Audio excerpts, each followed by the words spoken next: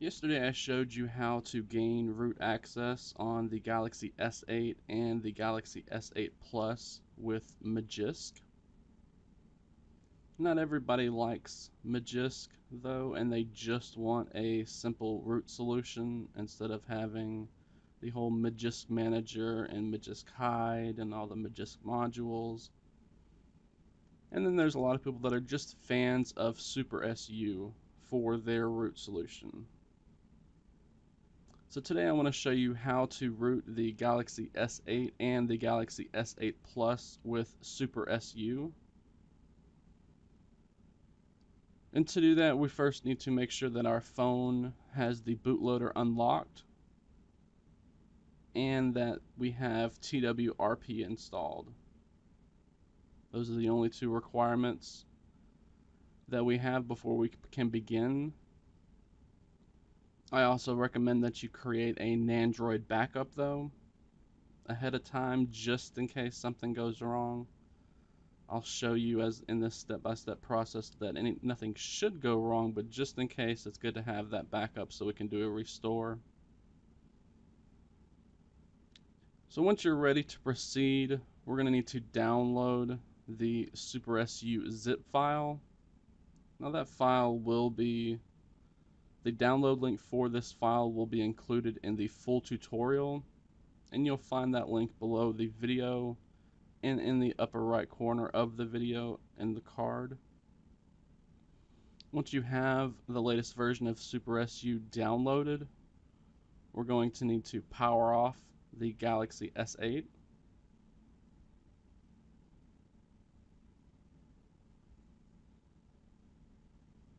So once the device is completely powered off, we're going to press and hold the power, Bixby, and volume up buttons so that we can boot into recovery mode,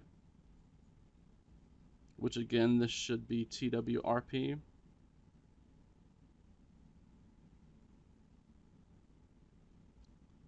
Once you get into the TWRP main menu, we're just going to tap on the install button if you need to browse to where you have downloaded this, which is usually the download directory, go ahead and do that. And then just locate the Super SU zip file that we just downloaded.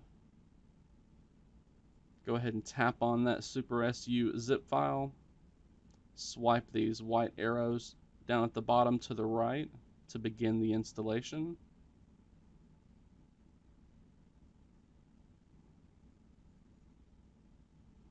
And then just wait for the Super SU installer to complete.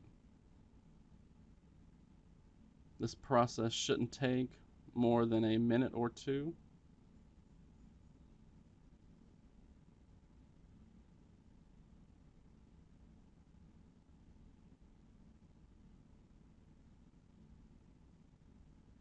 And we shouldn't get any errors during the process.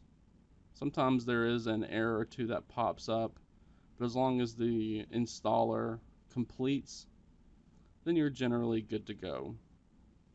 Just make sure you take a note here. This is our first boot into Android. May take a few minutes. And it can also loop, meaning that you can also go through a reboot process during the boot process. So unless you need to do anything else in TWRP, which if you do, press the home button but if you don't, just go ahead and press the Reboot System button.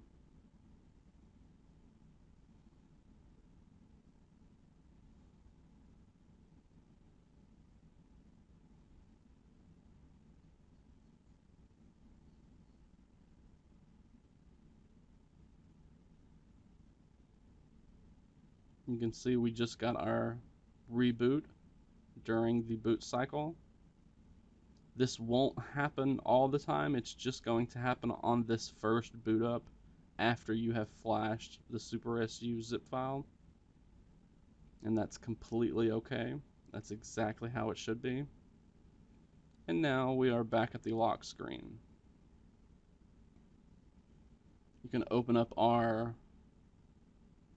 application drawer and you'll see that you should have a Super SU app icon here. We're just going to go ahead and tap on it to open.